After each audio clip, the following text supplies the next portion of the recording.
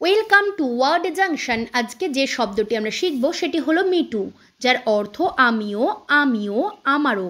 First example I love hiking me too it's my favourite activity যার অর্থ আমার hiking খুব পছন্দ, আমিও, এটা আমার প্রিয় কার্যকলাপ। Second example I think that movie was amazing me too I really enjoyed it যার অর্থ, আমি মনে করি সিনেমাটি অসাধারণ ছিল। আমিও, আমি সত্যি এটি উপভোগ করেছি। এই ভিডিওটি এতক্ষণ ধরে দেখার জন্য এবং শোনার জন্য আপনাকে ধন্যবাদ। ভিডিওটি ভালো লাগলে ভিডিওটিকে লাইক করে চ্যানেলটিকে সাবস্ক্রাইব করে আমাদের পাশে থাকবেন।